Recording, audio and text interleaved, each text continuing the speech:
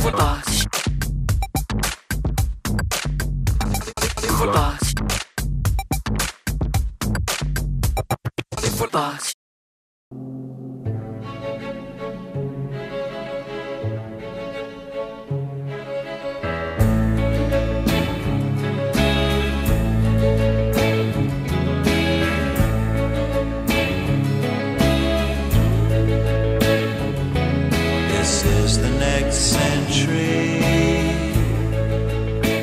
Campi, oggi si parla di questa importante iniziativa, di questo progetto che vuole portare alla valorizzazione del vino abruzzese, questo tour eh, che riguarderà proprio il prodotto per eccellenza della nostra regione. Sì, eh, siamo eh, molto attivi sulla promozione del vino, ma eh, sappiamo che il vino si promuove meglio, molto meglio se abbinato al territorio. Il binomio vino-territorio è fondamentale, per cui eh, abbiamo voluto creare eh, le condizioni attraverso uno strumento eh, tecnologico, un sito internet che consente di localizzare facilmente tutti i siti culturali e le cantine con abbinati anche eh, ristoranti. Il turismo enogastronomico è fondamentale per la valorizzazione eh, dei nostri eh, prodotti. eh, in questo senso il progetto è stato sviluppato. Un binomio perfetto, possiamo dire, quello tra il vino abruzzese e le meraviglie della nostra regione.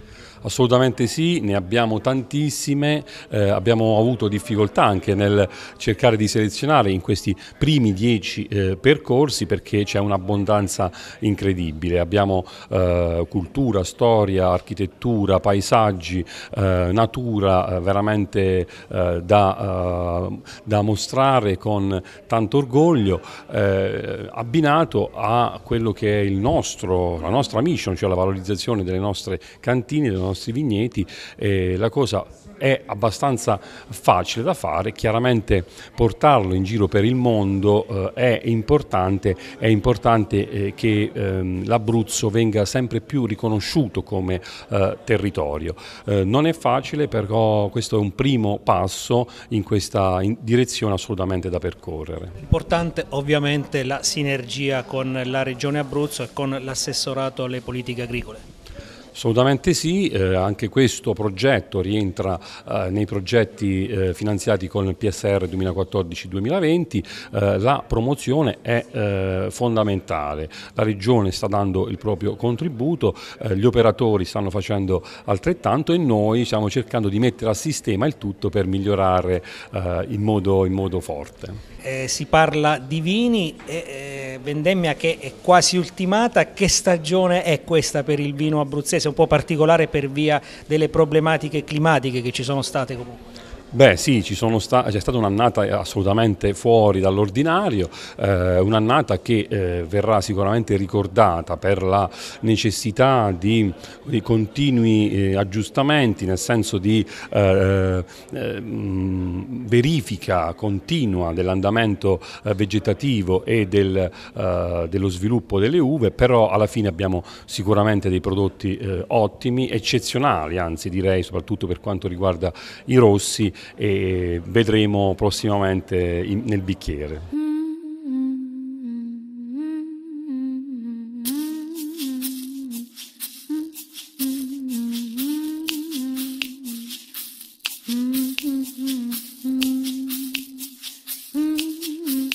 Tall and and lovely, the girl from Ipanema goes.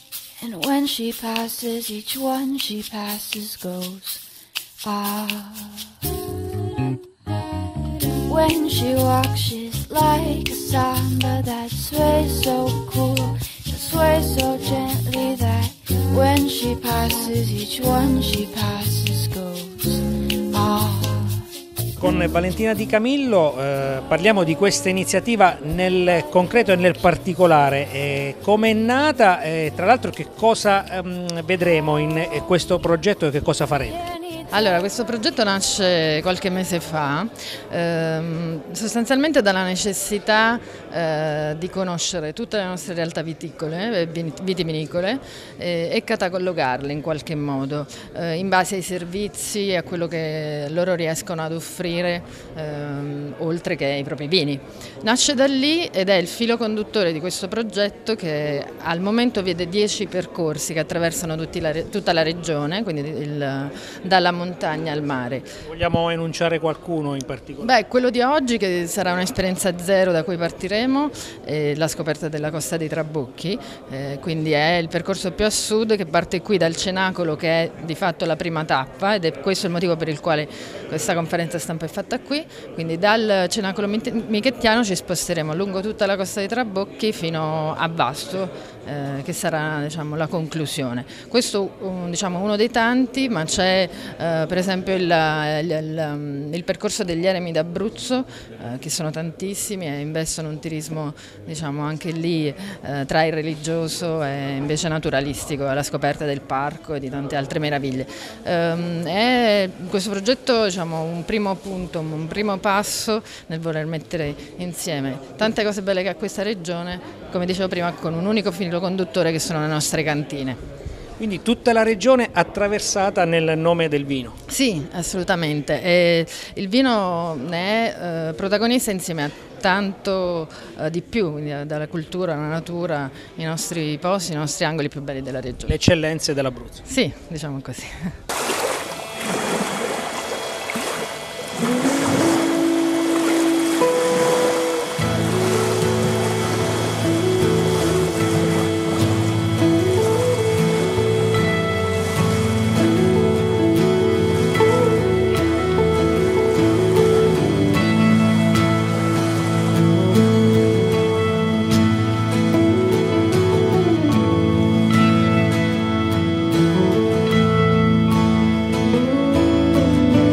percorsi del vino e della cultura, Assessore Pepe, si parla di vino, si parla di cultura, si parla di Abruzzo in questa importante iniziativa che proponete oggi.